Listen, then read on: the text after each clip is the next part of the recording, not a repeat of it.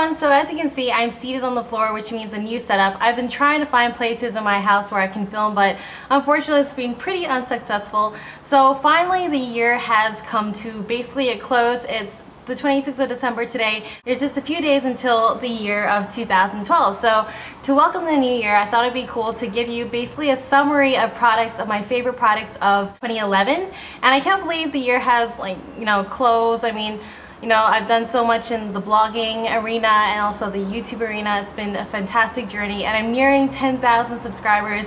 I have about like 60 subscribers to go to 10,000 and of course you know that there's a big giveaway at 10,000 subscribers so let me know in the comment section below what you'd like to have as a giveaway. I was thinking of some Lush goodies because I'm a, like a me mega fan of Lush and I thought because Lush Singapore just came to Singapore I thought it'd be a good thing to just um, do a Lush giveaway. So just let me know in the comment section below what you think a good giveaway sort of prize would be and thank you so much for your support thus far. It really does mean a lot to me. I have my products right here that I'd like to show you. I don't know why I have my SD card here. So the first thing I'm going to start with is eyes. So I've been really into, I guess 2011, I've been into that smoky sort of neutral eye look and this one is a really really good one. This is the Almay Intense iColor and it came with like a little, you know, like a little brush. It's really dirty but I've been using this.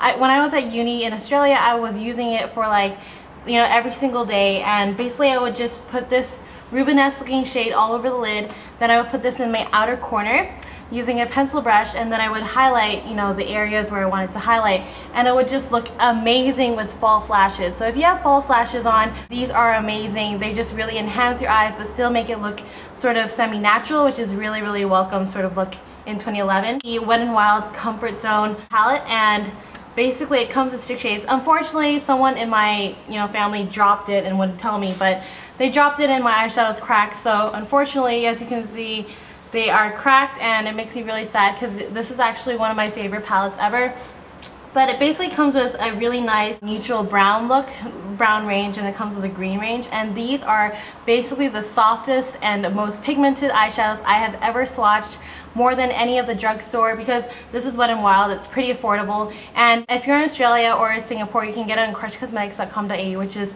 a place where I would get it. And this wonderful blogger, Liza, actually sent this to me in a swap. So thank you so much because this is actually one of my favorite palettes ever. It's just beautiful, soft, pigmented eyeshadows you'll never regret. The Naked 2 palette, the Urban Decay Naked 2 palette. This is one of my favorite palettes. I've been using it every day, guys, here in Singapore, and I can't say enough of it. I love it. I love it more than the Naked 1 palette because the Naked 1 palette tends to have too much shimmer, too a, a little darker color range to my liking. This one has a lighter color range and less sort of intense shimmer shades which makes it more wearable throughout the day so I really like it. I use sort of the matte shades into my crease and I'll let you in on what I do every single day in my next video which is my everyday eye makeup tutorial that I usually do, which I have on today. Urban Decay Primer Potion. This is my favorite primer potion, and I use the Face of Australia one, and I haven't tried the Too Faced Shadow Insurance, but I should try that out.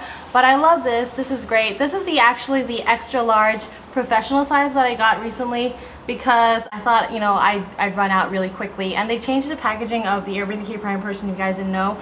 It's not that tube thing anymore. It's sort of like a squeezy tube, which is tons more convenient, but just give it a shake before you use it because the sort of ingredients tend to separate in the tube. So make sure you sort of shake it a bit and then you kind of use it. I have been using every day the Revlon Colorstay Liquid Eye Pen. So this is what it looks like and I like the preciseness of liquid eyeliners. I just love it because you know you can make a sharp line, you can make any line basically, but I don't like somehow when you sort of open the tube of the liquid eyeliner, sort of the liquid eyeliner sort of drips a little bit. So with the pen, it's just tons more easier because you don't have that dripping or anything like that. You kind of just draw the line onto your eye but have that preciseness as well. So the Revlon Colorstay does a great job of it. I'll do a swatch right here.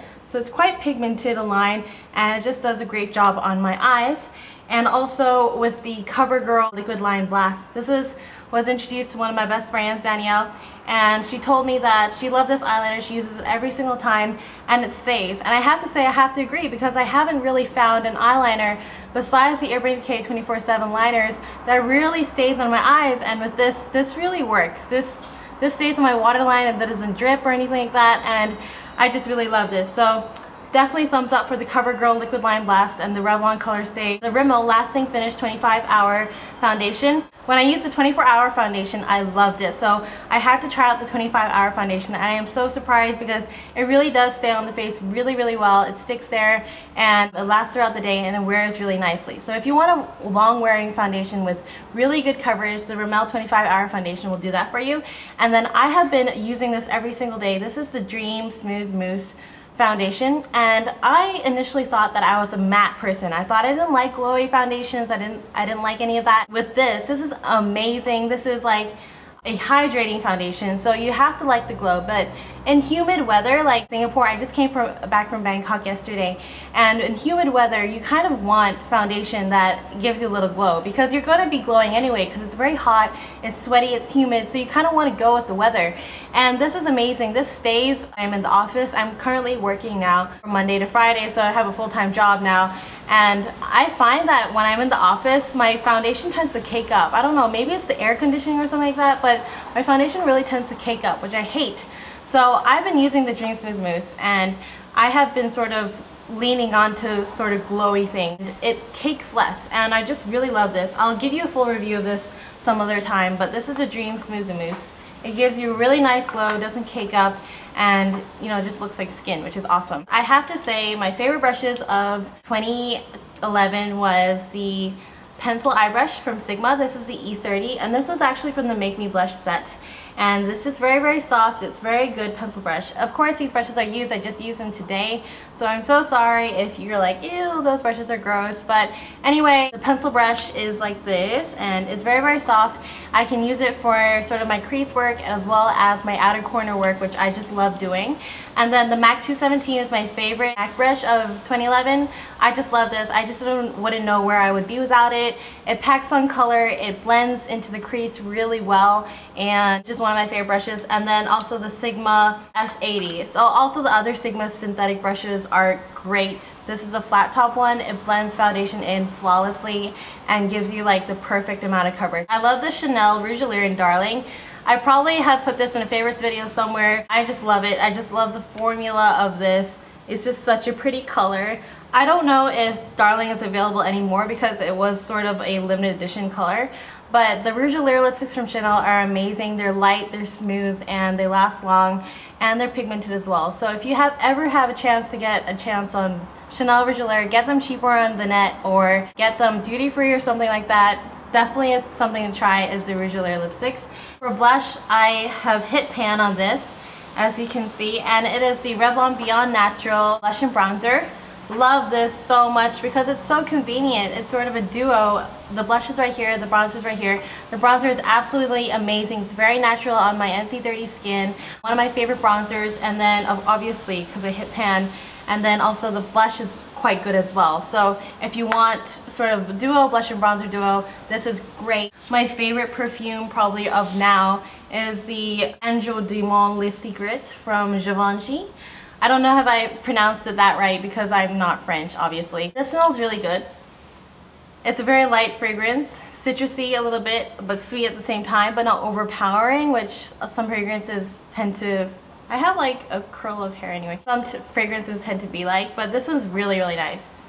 Lush Cynthia Sylvia Stout. I have been sort of asking for samples for this from Lush for a really long time, but now I just have to, I bought the full-size version finally, and this is basically beer shampoo. So if I read it to you, Stout Lemons, Cognac Oil, made this a supreme conditioning shampoo gives weight and shine to fluffy hair and I have to say that this is a great shampoo because it's beer. It's like weird because it's like a weird combination but if you like wash your hair with the beer it actually makes it more fluffy and smooth. I have my FreshKon color fusion lenses. I've been using a lot of obviously a lot of color lenses in my tutorials if you haven't noticed so I've been using the FreshKon color fusion ones so this is in perky brown this was in sparkling shimmery gray. I use these. You can use these for a month if you store them well.